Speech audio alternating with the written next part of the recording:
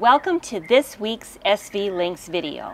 Well, here at the lot, we are going to be doing a whole bunch of sanding this week on the hull, removing the excess squeeze out. Right, and uh, boy, not really looking forward to getting into those bunny suits for an entire week, but you do what you have to do to get the boat so that you can sail it around the world, and that's what we're planning on doing. Once uh, we finish up sanding, uh, we're also going to talk about a big decision we made about something to do with uh, the building of the boat. And so we'll get to that in the second half of the video. So let's get to sanding.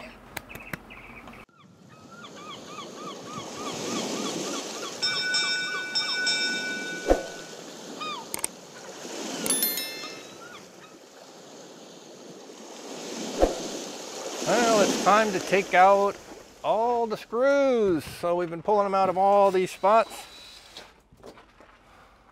Pull them out. Pull them out. I like your mustache. Time to get them all out, and then we gotta sand this stuff off. Now, down here, as you can see, this is a really ugly area where we, we left a lot of squeeze out at first, and there's a lot more because of these uh, narrower boards, so there's a lot more. So this is really an ugly and slow spot to sand. But uh, I already started on the sanding on this side and you can see that I took this off in about, oh, I'd say 20 minutes, uh, 15 minutes maybe for this uh, quadrant of the stern. And this is one of the more difficult areas where there's, um, due to the uh, kerfing, there's edges that have to be rounded off and stuff. As we go down the hull, it's going to actually be easier. So uh, we uh, shouldn't have too much trouble with sanding most of this off. It comes off very rapidly, but as you can see right here, it, it takes it right down flat, but it doesn't take the fiberglass off there. So it, we're good.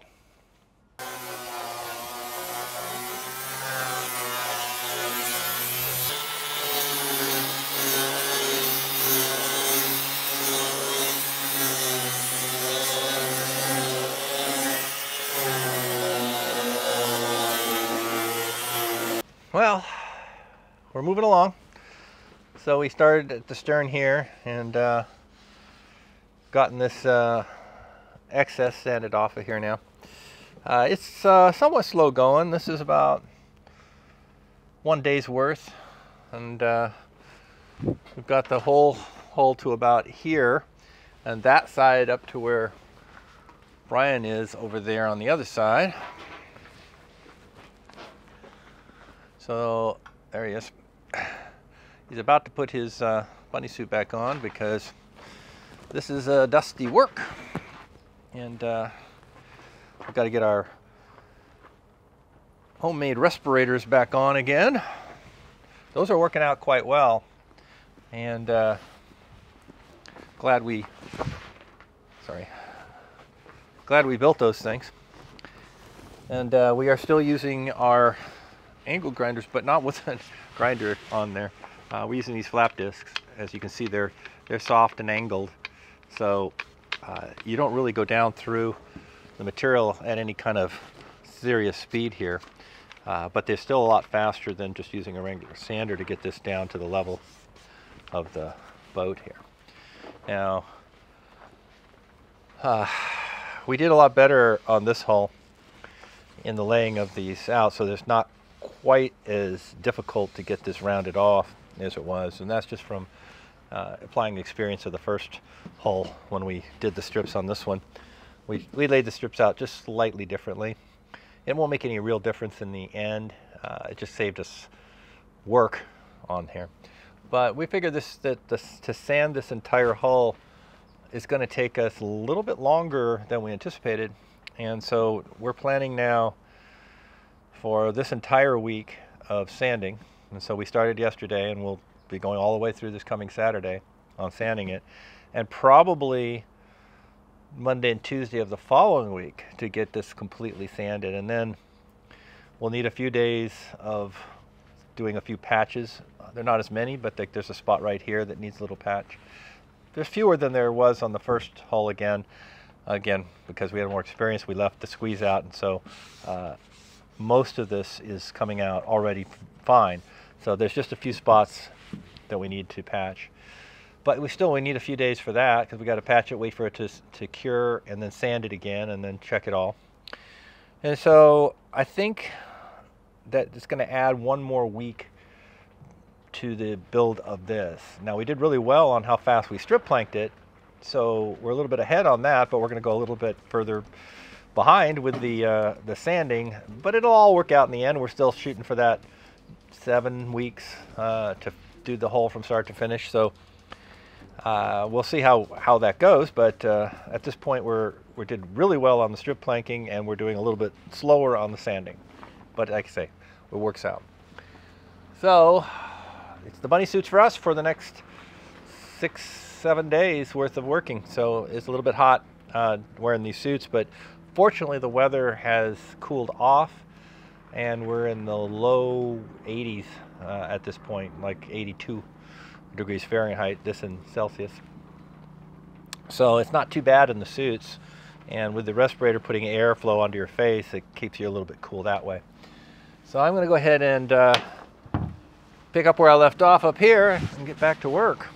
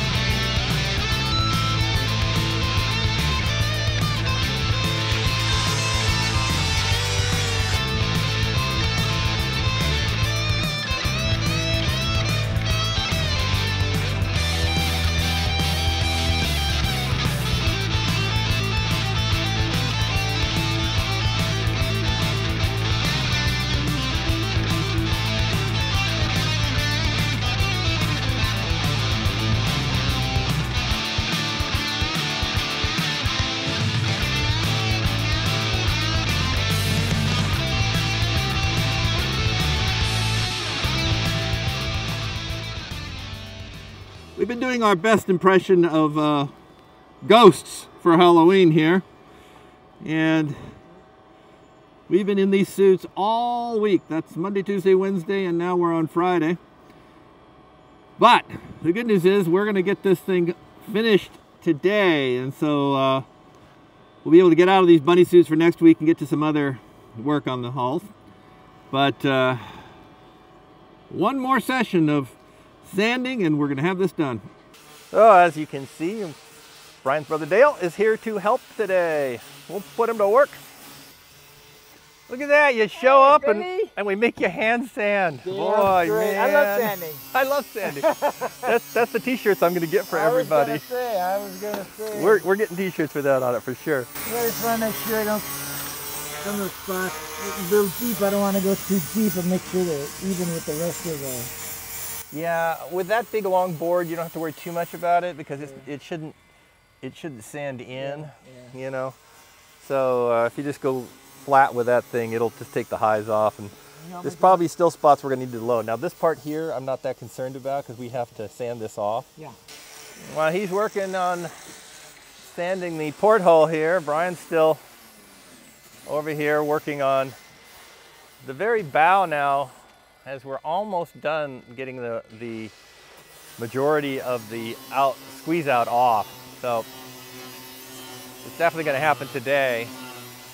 So uh, I've got from where my sander is up on top there, so I've got a little bit more than he has to go.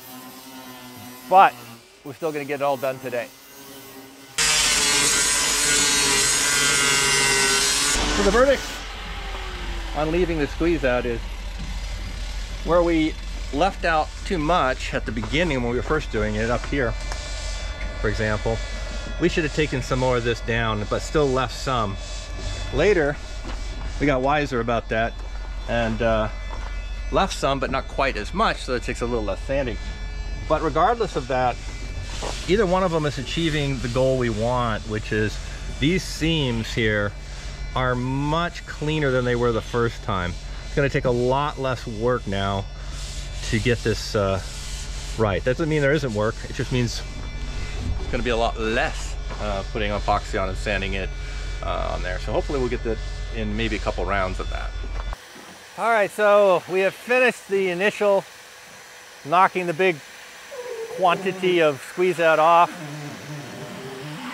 I'm gonna vacuum up as much of this dust as we can. Then we'll check it for a little bit of uh, additional sanding, probably get out the Flexi sander a little bit. Go look now, but our snow globe has turned into a boat hull again. So uh, came out very nice. I'm happy with it. The number of fixes that we're going to have to do are maybe 10% of what we did on the other hull. This is most of this is beautiful. So we don't have to do anything to any of that, just a few spots. Of course, all the holes that we drilled to hold the planks in, but um, there's only a few little spots, like right there's one. But really, overall, this is really nice. It's just amazing that big, huge flat panel is now this nicely curved bottom portion of our hull, the canoe. So uh, tomorrow is Saturday, and tomorrow we're going to clean this up with some alcohol.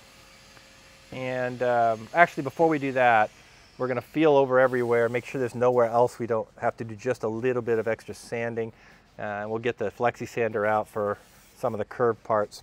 But once we get that uh, sort of spot checking sanding done, we'll um, wipe it down with alcohol and then uh, start patching the holes and patching the few little holes. Hey everybody. As you can see, we're here at the lot and I've come with the Admiral because we have made a decision, something we're going to change and actually changes something we said we're going to do into something else new. And so we thought we'd come out here and talk a little bit about why we changed our mind on this. And what we're talking about here are these big hulls you see sitting here. And what we're planning on doing now, cut to the chase, is reversing them all the way around so that the bows are back there and the sterns are up front here. This is something that we considered a while back, but it's also something some of our viewers commented on in an earlier video, which I'll link up here. But we'll read their comments right now.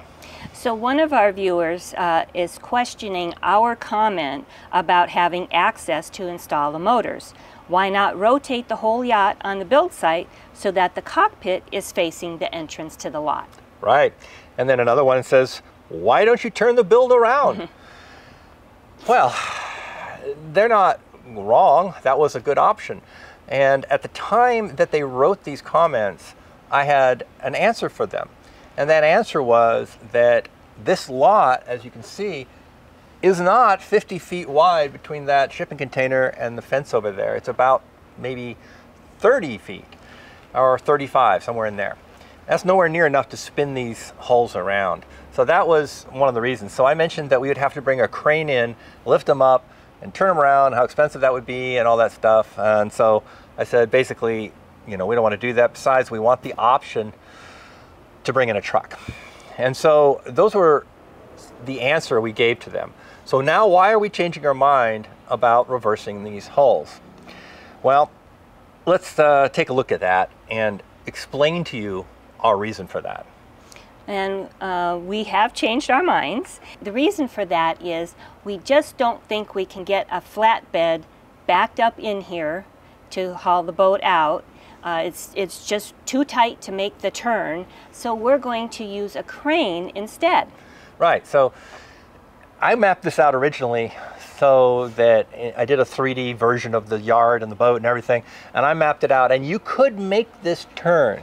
You could do it, but it would be incredibly tight.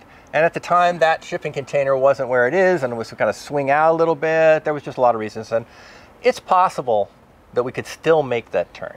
It's just it's so incredibly tight, and we just don't want to risk banging the boat into the shipping containers or the poles on the side or uh, the truck not having enough room and just turning into a whole fiasco. And so we're going to spend the money to bring in a crane, and the crane can just lift the boat up in the air, turn it over, and set it onto that flatbed truck out in the alley. And so that's sort of the the reason now that we're going to do that. So now let's talk about the benefits of rotating these two hulls around since it's going to take a lot of work because we're going to have to go through some shenanigans to get this done, which we'll explain in a moment. So we're not going to bring a crane in to do it like I mentioned before because that is too expensive. And so we figured out another way to do it mm, for just some effort, but no money. And one of the benefits is easier access to the interior from the container doors. Right. We have our two containers, one with all the small pieces that are going inside the boat, and those are all going to have to get lifted up into the boat.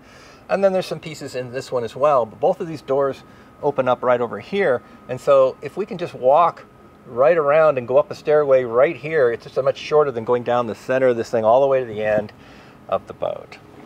Also, there's just more space behind here where we can take some of these larger ones that come out of the orange container and walk them out and get them up on top of there where if we were back there we'd be up against the, the fence and it would just be possible problems so uh, we need I don't say we need but it's going to be much nicer yeah. to have the end over here where it's just easier to work with Another benefit is that the bulkheads can be placed earlier in the order they're supposed to be because we don't have to take the heavy diesel engine down the center.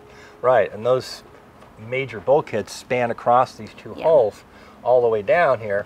And we were going to have to try to do the engine so much earlier, and that's not really the way it's supposed to be done in the plan. So now, by reversing these around, we can put those major bulkheads in and uh, at worst, we have to leave the last one out while we before we put the engine in. But that's going to be a lot nicer. So uh, that's a big benefit. And then the next one, wind's blowing our notes along. away. Um, the next one is it's easier for us to lift the cabin top yeah. onto the boat. And the reason for that is simply that the cabin top is going to be built out here in this open space you see out there, beyond the cameras. And uh, when it's done, we're going to have to bring in a telescoping forklift and lift it up, turn it, and drive it in and set it down. Well, the problem with it when it was the other way around is simply that there's a longer distance from the bow to the front of the salon than there is from the stern where the, the top of the cabin cups is all the way to the stern. So it's just a shorter distance that the telescoping lift has to bring it up and set it down. So that's just going to make lowering that cabin top on there just a bit easier to do uh, with it reversed around. So that was just another benefit of that. Also, it's going to be easier for us to work on the rudders and the prop shafts because they're going to be right down here. So when we're working on those kick-up rudders and the shafts, it's going to be right in front of us. Right, and again, not constrained by the space of that fence back there, like when we're putting that uh, shaft up in there and we have to insert it up in there, there's going to be more space to work. So it's just a big, another big benefit of it. Okay, Phil, how are we going to accomplish this reversing? Yeah, since we're not bringing that big crane in I talked about in those comments. Well, we have a very small flatbed trailer. And what I realized is that we can take the forklift like we did on the other hull, and you can watch that in this video, and lift this hull up into the air, take out all of this structure underneath that's holding it currently, all these uh, supports and forms and the wood platform, get all of that out of here. They'll just sit up there while we do that. And then we'll roll my small flatbed trailer in right to the center of the canoe, and then the forklift will lower down the canoe onto that flatbed trailer. And that puts a pivot point on two wheels right in the center of the hull. So at that point, we'll just use human power and we're just going to walk it out, rolling it on that uh, trailer with the people at the front, people at the stern there, and we're going to roll it all the way out and we'll remove all those gates and we're going to take it out and the cars and the trucks out there will be gone mm -hmm. and we'll take it out to the street. So we're going to come out here make this turn and take the hull onto this road. Then we're gonna back it up all the way over here, up to that fence, turn it round, and so now the bow will be coming in, and we'll take the bow in and bring it back in on the trailer again. These tables will all be gone. And uh, roll it back in again. Now it'll be reversed, but still upside down. At that point, we're going to use the forklift and human power to rotate it. And what we're going to do is we're going to put it in slings, and there's a winch mount onto that forklift we have now. He added it just for us. Uh, thank you, Brian. And he's going to help with the winch to get it rotating, but we're also going to be just using human power to help lift and, and, And inch it it. around inside the slings until we get it around. And then he'll just set that down into the forms that will stick down here, the uh, cradles, I should say. And once that's done, out he goes. We take and do the same thing over here. He just lifts this one. We take the trailer in, off it goes out into the street, does its three point turn, back in again, back up again with the slings, human power and winch. We rotate it around, set it down. So it's going to be a little bit crazy, I, I admit. And, uh, you know, um, it's perfectly doable though. So uh, that's our, our plan. Uh, and we'll see. Of course, we'll show you all this for real Yeah. when we do the video. But we want to kind of give you an idea of what we were thinking here because I already own the trailer, and my friend already has the bobcat with the forklift and the winch. winch. And so we have all the equipment, so that doesn't cost us anything. And we can do all of this. We're already going to have to bring the forklift in to rotate these these hulls anyway. Anyway. So we'll just also that day do our three point turns with them out of the lot and back in again. So a little bit more work, a little bit more excitement, but we can do it. All right, so that's what we plan to do. So when is this going to take place? Yes. All right, well, it's going to happen after we put, obviously, this hull needs to get faired, and we're going to start doing that uh, very soon. So, uh, Yeah. next, a week from, I don't know what day this is, somewhere in the next uh, 10, 15 days, Yeah. uh, we're going to be putting the basalt onto this hull, and then immediately after that, we start the fairing. And as soon as that fairing is done, and that should go faster, uh, this hull's in better shape than the previous one was to start with, so a lot fewer rounds, and also, frankly, we're just better at it now. So that should go faster. And once that's on, we're going to be putting uh, barrier coat paint on both canoes. And then we're going to copper coat both of them. And once the copper coat's on and the barrier coat's on, these hulls are ready to be flipped over, and then we'll schedule our day for the Bobcat to come out and our three point turns. So that's our plan on that. So that's the story and why we changed our mind because we figured out a way to do it economically, and that was really not just economically but also um, physically how to do it. And that was the sort of the stopping point about why we weren't doing it before. And then the fact that, just to, to reiterate on that, that we have made the decision that we're bringing a crane in to move the, the finished boat onto the flatbed. And so once we made that decision, then it, all of the, the better reasons for having it reversed around were there because the only reason it had it this way to begin with was, was for that flatbed because everything else is better to build it the other way around. So that's what we're going to do now. All right, well, from here on, uh, that should bring us to the end of this particular video. But I would like to thank our Thank uh, patrons.